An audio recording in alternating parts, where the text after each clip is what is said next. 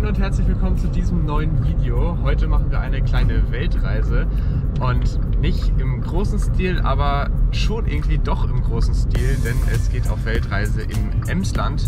Dort gibt es nämlich viele Orte, die äh, sehr, sehr cool benannt sind und was wir da heute so alles erleben, das siehst du im heutigen Video.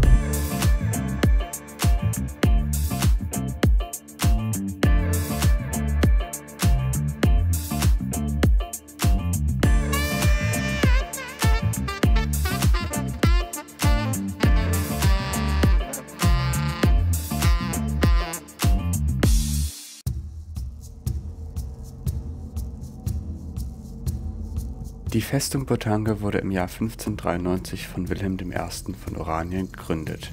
Sie liegt in der Provinz Groningen im Nordosten der Niederlande nahe der deutschen Grenze. Sie wurde ursprünglich errichtet, um die strategisch wichtige Grenzregion gegen Angriffe aus Deutschland zu verteidigen. Botange ist eine der wenigen noch erhaltenen sternförmigen Festungen in Europa. Diese Bauweise ermöglichte eine bessere Verteidigung, da sie Angriffe aus verschiedenen Richtungen effektiver abwehren konnte. In den 1960er Jahren wurde die Festung aufgegeben und verlassen. Später wurde sie jedoch zu einem Freilichtmuseum umgestaltet, die die Geschichte und Architektur der Festung zeigt. Heute zieht die Festung Botange Besucher aus aller Welt an. In dem Museum können Besucher historische Gebäude und die Verteidigungsanlagen erkunden, um mehr über die Geschichte der Festung zu erfahren. In Botange werden das ganze Jahr über verschiedene Veranstaltungen abgehalten, darunter historische Nachstellungen, Märkte und Festivals, die die Besucher in die Vergangenheit zurückversetzen. Die Festung ist von einem breiten Wassergraben umgeben und hat charakteristische Bastionen und Gräben. Die Innenstadt ist im Stil des 17. Jahrhunderts erhalten geblieben.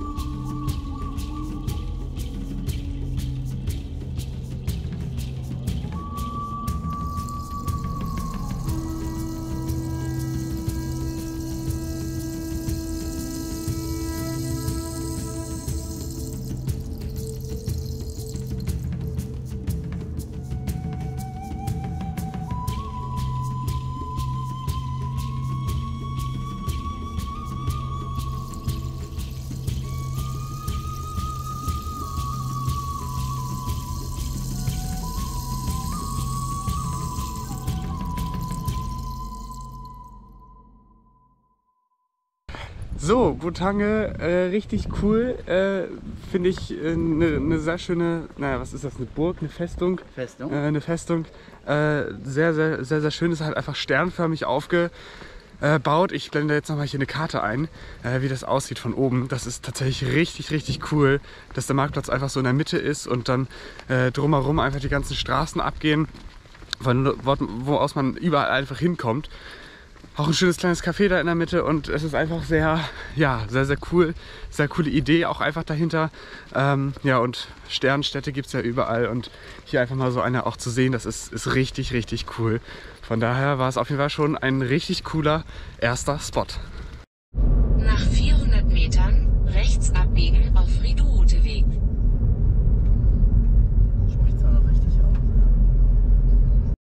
So, mittlerweile sind wir dann auch äh, mal in England angekommen und äh, ja, zwar in Neuengland.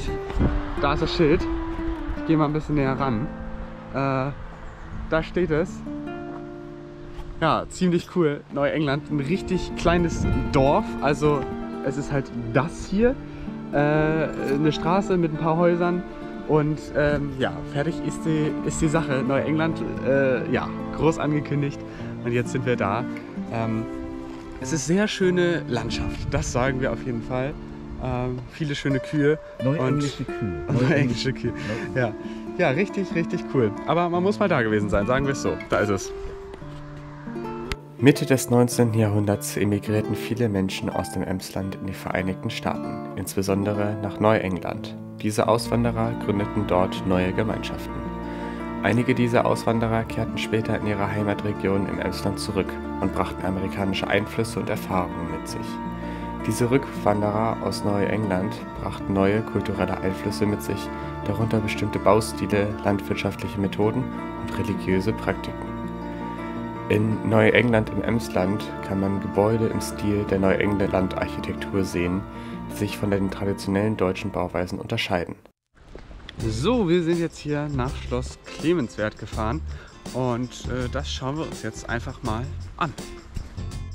Schloss Clemenswert ist ein beeindruckendes barockes Jagdschloss, das sich im niedersächsischen Emsland in Deutschland befindet. Schloss Clemenswert wurde in den Jahren 1737 bis 1747 unter der Herrschaft von Clemens August I. von Bayern errichtet. Das Schloss ist ein Meisterwerk des Barocks und zeichnet sich durch seine sternförmige Bauweise aus, die von französischen Vorbildern inspiriert ist. Ursprünglich diente das Schloss als Jagd- und Lustschloss für Clemens August I. und seine Gäste. Das Schloss ist von ausgedehnten Barockgärten und Wassergräben umgeben, die die Schönheit und Pracht der Anlage unterstreichen.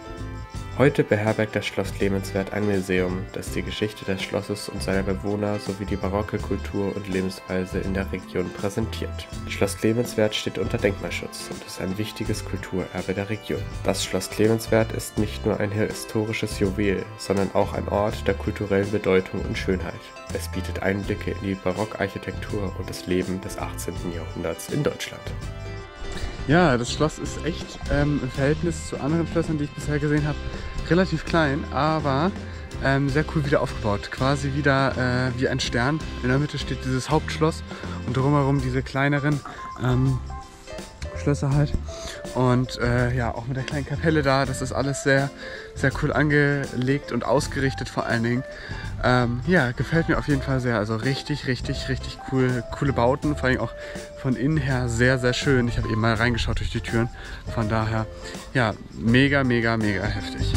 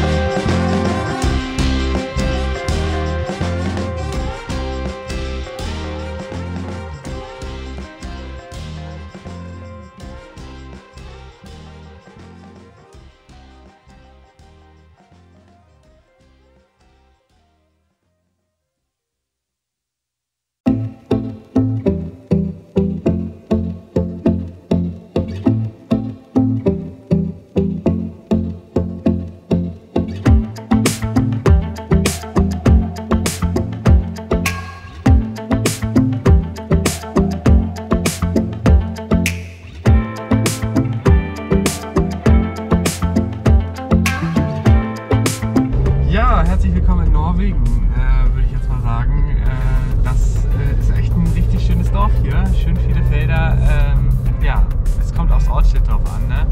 Aber die Fahrt hierher war auch sehr, sehr abenteuerlich, denn wir sind da irgendwie durch irgendwelche Feldwege gefahren und so weiter und es labert das Navi rein. Äh, naja, es ist wirklich äh, richtig, richtig äh, witzig, hier einfach so Orte zu finden, die einfach Norwegen heißen.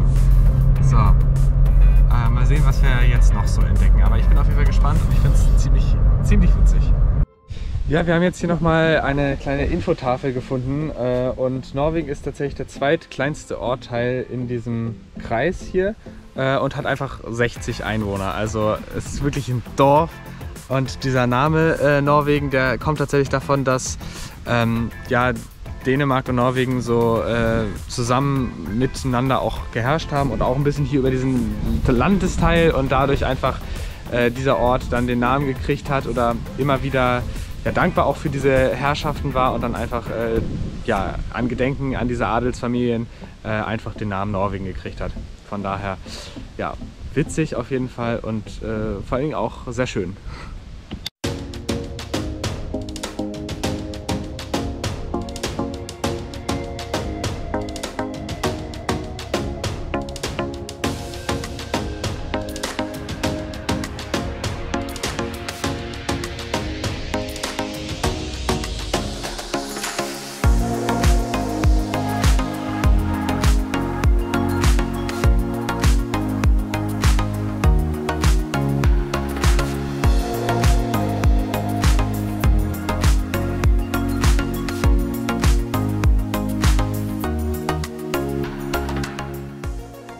In Russland regnet es, aber nur, dass ich da war. Nur so for your information.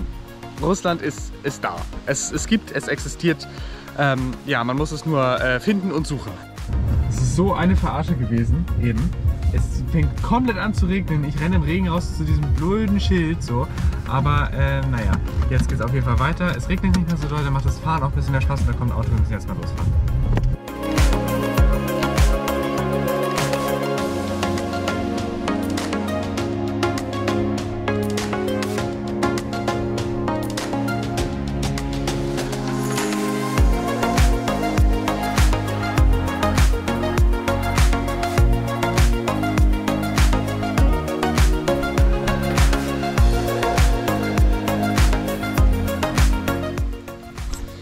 Ja, mehr brauche ich glaube ich nicht sagen. Ne? Herzlich willkommen in Ägypten. Ähm, ich, bin, ich bin hier auch gerade an der Bushaltestelle äh, Ägypter Straße, ne? wenn man es lesen kann da oben. Ähm, und ja, äh, ist halt, ist halt Ägypten, ist halt wieder so ein kleines äh, Dorf zwischen Feldern und äh, ja, witzig, witzig, äh, auf jeden Fall, äh, ja, cool. Irgendwie krass, dass es hier diese Dörfer gibt, diese Orte, wo man einfach dann irgendwie Ägypten heißt oder so. Ja, richtig, richtig cool. Gefällt mir auf jeden Fall sehr. Von daher, ja, witzig einfach auch mal so diese ganzen Orte jetzt abgeklappert zu haben und einfach so eine kleine Weltreise gemacht zu haben. War auf jeden Fall sehr, sehr cool. Mal gucken, wo es jetzt noch hingeht.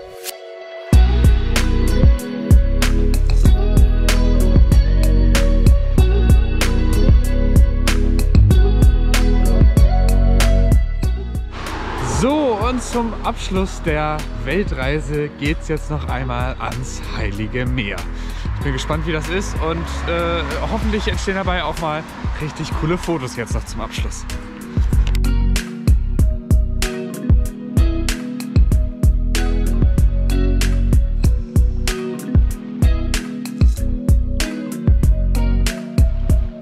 So, wir sind jetzt durch den Wald gegangen ein bisschen und äh, sind tatsächlich jetzt auch am Heiligen Meer angekommen. Und äh, ja, das ist echt schön und echt cool. Äh, bloß warum es heilig ist, das wissen wir alle nicht.